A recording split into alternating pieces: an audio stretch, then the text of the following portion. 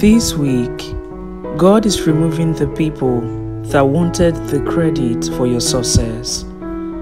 For the next 30 days, you will experience nothing but victories. I declare that in less than 48 hours, you will receive the call of your dreams. If you agree, type my status is shifting. I declare there is a wind of referrals over your name. Your name will receive global recognition.